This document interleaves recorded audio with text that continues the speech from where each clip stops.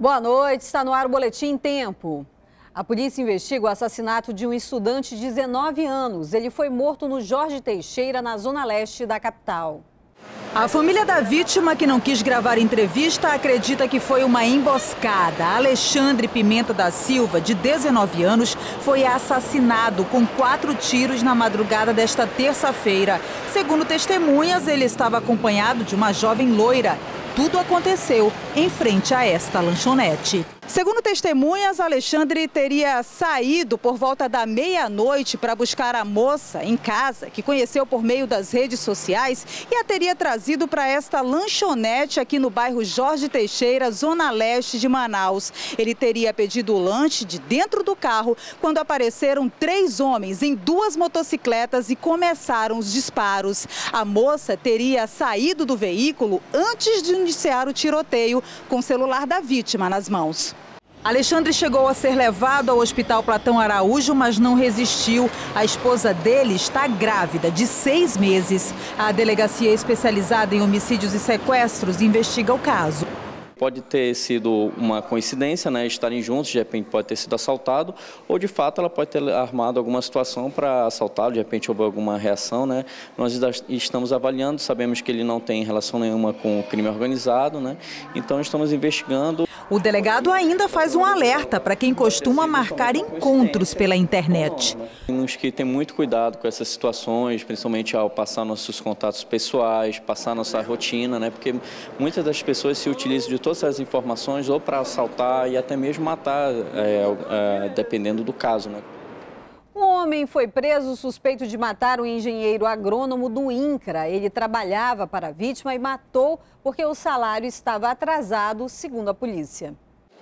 O assassinato foi em janeiro deste ano no ramal Santa Cecília, na M010. Elmir Vaz de Oliveira era engenheiro agrônomo do Instituto Nacional de Colonização e Reforma Agrária, o INCRA. Segundo a polícia, ele devia quase dois mil reais para Ronei de Souza, que limpava o terreno da vítima. Essa motivação em razão de dívidas de trabalhos realizados no sítio de Ronei, onde a, o autor alega que ele não pagava, então decidiu que já que ele não vai me pagar também, ele não vai fazer isso com, ele não irá fazer isso com mais ninguém. Então ele decidiu ali ceifar a vida. No dia do assassinato, Ronei esperou Elmir sair para ir jantar na casa dos vizinhos, quando atingiu a vítima com sete golpes de terçado. O Ronei criou ali um factoide para tentar encobrir esse homicídio, dizendo que houve que passaram quatro pessoas e cometeram esse homicídio. Segundo o filho do engenheiro, a família já desconfiava de que Ronei era o principal suspeito do crime. Pelas mensagens dele que ele já me mandava, eu que tinha acesso a, a ele, né?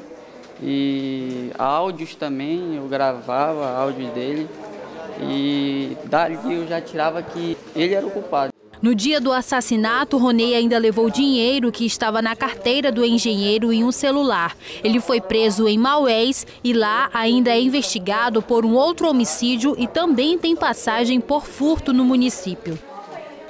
Em Parintins, a polícia prendeu o integrante de uma quadrilha interestadual especializada em roubar gado e lanchas. Os detalhes com o repórter Tadeu de Souza.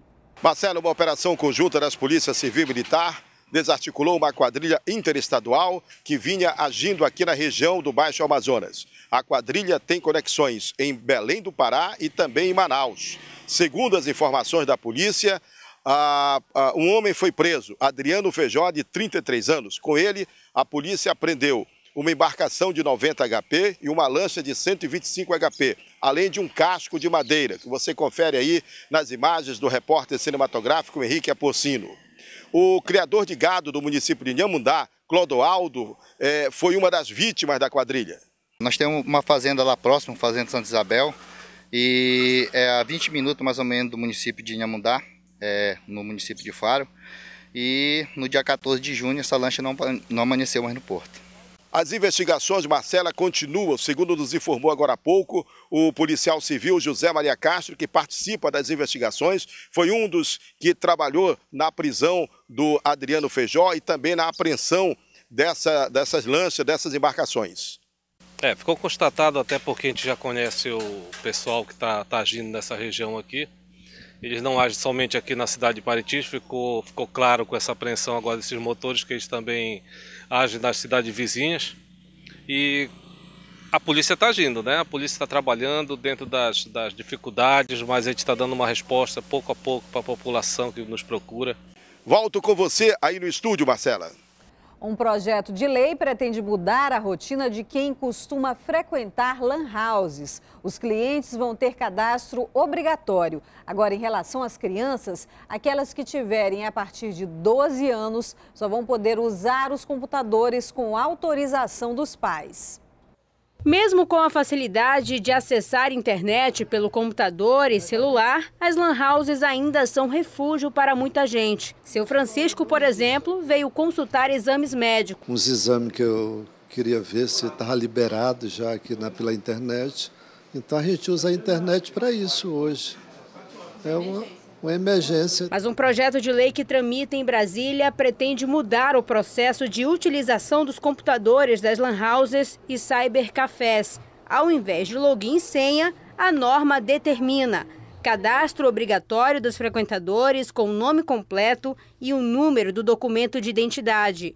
Espaço adequado para usuários que apresentem algum tipo de deficiência. Em relação às crianças, quem tiver a partir de 12 anos de idade só vai poder acessar a internet nos locais com a autorização dos pais ou responsáveis. Abaixo dessa idade, apenas com acompanhamento de um responsável. E hoje esses estabelecimentos, eles são importantes, mas nós sabemos também que existem pessoas que utilizam esses meios para praticar atos criminosos. A ideia é parar com esses atos e possibilitar, de acordo com o que o próprio Estatuto da Criança e do Adolescente determina, a permanência ou a participação desses jovens agora dentro de procedimentos que a legislação determina. E diferente do que todo mundo pensa, não são apenas internet e jogos. Os serviços oferecidos foram ampliados por uma adaptação do setor. Eles oferecem desde xerox até plastificação de livros. Cada uma loja nossa é considerada centro de inclusão digital e nós temos uma gama de serviços é, que eu classifico como cada um centro hoje como um multisserviço. Segundo a deputada federal Conceição Sampaio, relatora das emendas ao projeto, a ideia de mudar a lei é combater os crimes cibernéticos e pedofilia. A Associação Amazonense de Inclusão Digital, a ACID, não concorda com as mudanças. Hoje, uma criança, ela acessa a internet pelo celular. E os pais que são responsáveis para cuidar da criança, não somos nós. Ninguém poderia restringir a entrada e saída de qualquer pessoa em qualquer estabelecimento comercial. O projeto de lei com as novas mudanças ainda não tem data para começar a valer. A previsão é que a regra seja sancionada pelo presidente da República, Michel Temer, até o fim deste ano. Assim que aprovada, as lan houses vão ter um prazo de 180 dias para se adequar às normas. Você vai conhecer agora quem são os pequenos grandes craques campeões da Super Cup disputada no mês passado em São Paulo.